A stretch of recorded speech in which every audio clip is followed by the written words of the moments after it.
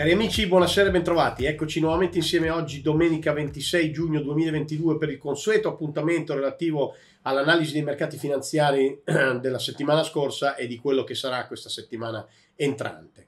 Ebbene, abbiamo vissuto mh, dei periodi dopo settimane e settimane di eh, dichiarazioni molto forti da parte dei banchieri centrali, specialmente quelli della Federal Reserve, che hanno dichiarato di voler alzare ripetutamente i tassi addirittura per arrivare al 3,50-3,75% per fine anno. Eh, hanno oh, mantenuto questo approccio nelle, nelle, ultime settimane e dietro a loro sono andati, in, anche se parzialmente, eh, i, gover- i rappresentanti della Bank of England nelle loro dichiarazioni e anche quelli della BCE. Ebbene, però, nelle ultime settimane qualcosa sta cambiando. E cosa sta cambiando? La congiuntura macroeconomica, perché i dati che stanno uscendo evidenziano un rallentamento macroeconomico um, rilevante e molto probabilmente conseguente al primo rialzo dei tassi che hanno prodotto le banche centrali. Ebbene, la borsa ha festeggiato perché avete visto i principali listini azionari americani venerdì sera chiudere la settimana in maniera abbastanza significativa con eh, una, un'euforia che non si vedeva da qualche giorno.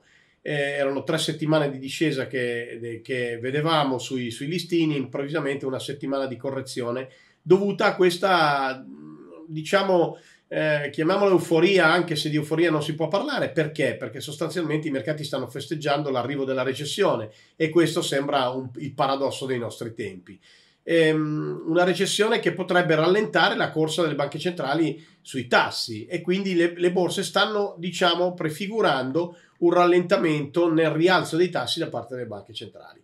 Non sappiamo se sarà così, noi crediamo di no e l'abbiamo ripetuto più volte anche questi, durante questi nostri incontri. Cioè le banche centrali in questo momento, a nostro avviso, non hanno interesse di voler prov- di provocare una recessione, nel senso che anche se la provocano, a loro va bene alzare i tassi. Perché? Perché successivamente quando dovessimo vivere questi momenti di recessione, che sia uno soft landing o che sia un hard landing, questo non importa, le banche centrali avranno nuovamente gli strumenti e non saranno impotenti e avranno nuovamente gli strumenti per poter agire sulla politica monetaria, cioè riabbasseranno i tassi.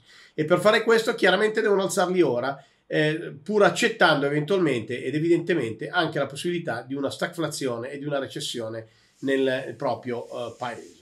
Quindi questa è la contraddizione di, di questo periodo che stiamo vivendo e mh, da questo punto di vista eh, dobbiamo segnalare che però il rallentamento macroeconomico potrebbe cambiare qualche eh, situazione, soprattutto in Europa. La, in Europa la Garda ha dichiarato che prossimamente tra luglio, settembre e ottobre ci saranno uno, due, forse tre rialzi dei tassi da 25 basis point però eh, a questo punto noi crediamo che a luglio, dopo i dati che sono usciti, potrebbe anche stare ferma la BCE e. Sarebbe veramente un problema, sarebbe eh, sicuramente pericoloso che arrivassimo a settembre-ottobre in autunno, quando probabilmente eh, un po' la questione legata all'energia, quindi alla, alla, alla, all'approvvigionamento energetico che eh, fatica ad essere quello diciamo che avevamo fino a un certo periodo nel 2021 e nel 2022 eh, le questioni legate alla guerra e alle strozzature dell'offerta molto probabilmente potrebbero portare già l'Europa in recessione eh, nel prossimo autunno. E se la banca centrale avrà ancora i tassi negativi, beh, la questione diventa veramente eh, pericolosa perché la BCE potrebbe non avere tutti gli strumenti a sua disposizione per poter agire con la politica monetaria e sui tassi in modo da riproporre eventualmente una eh, come dire, eh, un quantitative easing per poter allargare di nuovo i cordoni della borsa e ridare fiato alle economie che in questo momento dimostrano di soffrire. E negli Stati Uniti la questione è differente, eh, nonostante i dati di rallentamento sembra che Powell e anche altri rappresentanti della Fed, nonostante abbiano dichiarato che c'è la possibilità di una recessione eh, da un punto di vista teorico, hanno dichiarato che comunque andranno avanti con la loro con tenacia nella loro politica di eh, rialzo del costo del denaro e questo potrebbe nuovamente deprimere i mercati azionari prossimamente. Eh, dalla Gran Bretagna invece mh, sono uscite le dichiarazioni abbastanza particolari di Mann, che è un rappresentante della Bank of England, il quale ha dichiarato che eh, la, la, le decisioni e la politica monetaria statunitense è inflattiva per, per, la Gran Bretagna. Cosa vuol dire questo? Vuol dire che un rialzo dei tassi pro- prolungato negli Stati Uniti indebolisce la sterlina contro dollaro e l'indebolimento della sterlina contro dollaro causa l'importazione di inflazione e la, per questa ragione la Bank of England dice noi se vogliamo evitare che la svalutazione del tasso di cambio vada a inficiare il rialzo dei tassi, dobbiamo seguire il rialzo dei tassi eh, americano. E questo è quello che molto probabilmente la Bank of England farà nelle, nelle settimane a venire. Ma andiamo a vedere quelli che sono i tassi di cambio più importanti e soprattutto ripartiamo però questa volta dalle, eh, dai mercati azionari, perché in questo momento i mercati azionari rappresentano, secondo noi, eh, la chiave per capire quella che è eh, la correlazione. Tra l'altro, la correlazione sta cambiando perché ricorderete, quando i mercati azionari salivano, il dollaro saliva eh, in maniera altrettanto vigorosa. Eh, nel, durante la settimana abbiamo visto, soprattutto alla fine, con i dati dell'Università del Michigan, che sono risultati estremamente inferiori alle attese, addirittura il, sen- il, il sentimento futuro dei consumatori è visto a 47,5, quindi già in zona recessione.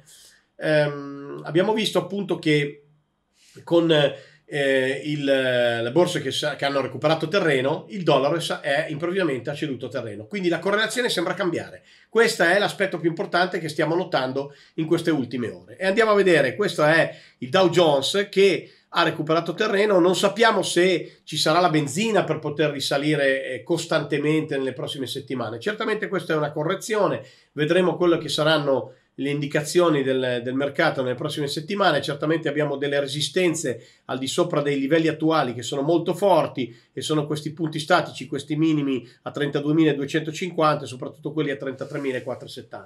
Lo vedremo, certamente eh, non soltanto il Dow Jones sta tirando, ma anche il, il eh, Nasdaq che ha recuperato terreno, come potete vedere i grafici sono quasi uguali, la stessa cosa per l'S&P. Abbiamo delle resistenze importanti nelle vicinanze, vedremo se il mercato andrà a violare queste resistenze e quindi tornerà il sereno sui mercati oppure se, come pensiamo noi, eh, la Federal Reserve proseguirà nel suo intento di alzare il costo del denaro a, a, a, scapito anche di un'eventuale recessione futura. E il mercato azionario questo non dovrebbe prenderlo bene nel medio termine, però eh, nel brevissimo termine questa correzione sembrava dovuta.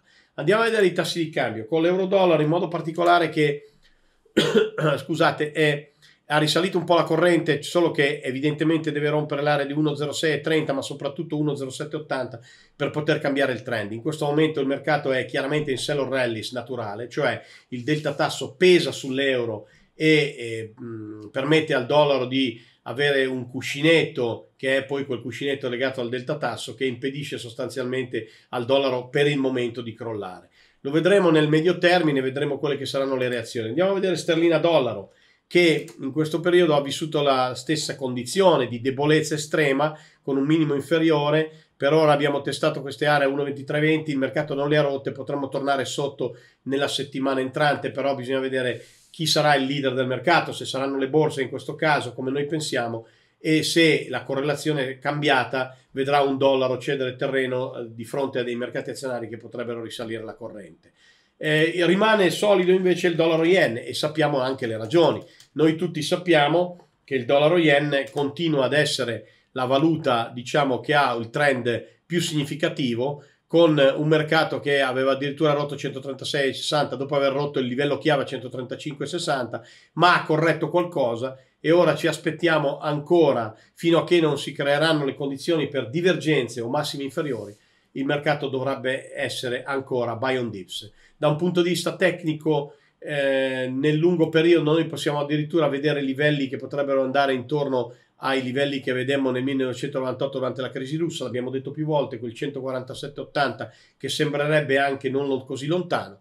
Eh, lo vedremo nelle prossime giornate, nelle prossime settimane, soprattutto sulle dichiarazioni della Banca Centrale Giapponese, perché non dimentichiamolo, l'inflazione in Giappone è al 2,5%, è rimasta tale anche nell'ultima rilevazione, mentre il mese precedente era salita di quasi l'1,6% rispetto al mese ancora eh, che veniva precedentemente e eh, fino a che non vedremo l'inflazione salire almeno al di sopra del 3,5-4% dubitiamo che la Bank of Japan possa decidere eh, la sospensione degli acquisti di titoli di Stato per mantenere i rendimenti sotto lo 0,25%.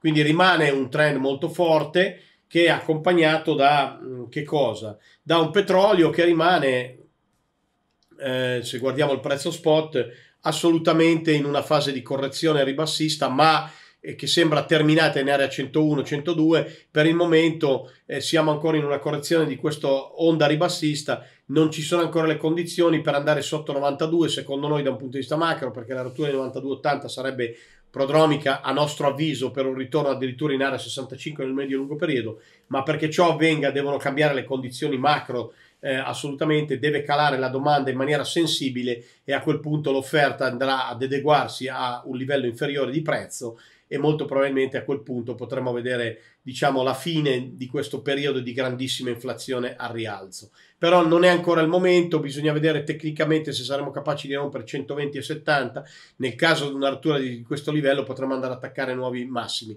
Altrimenti siamo all'interno di questo box che secondo noi è per il momento compreso tra 108 e 92 sotto e tra 108 e 120 sopra Ehm, tra le altre valute potremmo guardare il dollaro Canada che ovviamente è legato al prezzo del petrolio. Abbiamo visto un bellissimo doppio massimo a 1,3070.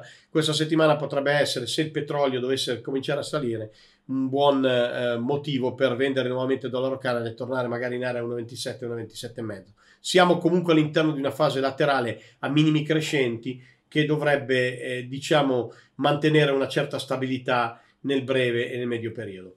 Eh, rimanete con noi perché la settimana è importantissima, ci sono dati significativi sia dagli Stati Uniti ma anche dall'Europa. Continuiamo a vedere queste price action, anche se siamo nel mese di luglio c'è una buonissima volatilità per poter operare e questo è, rende il mercato estremamente interessante estremamente affascinante. Mettete un like sulla pagina degli amici di Active Trades e vi aspetto domenica prossima per il nuovo appuntamento consueto con il mercato dei cambi e i mercati finanziari. Arrivederci e buon trading.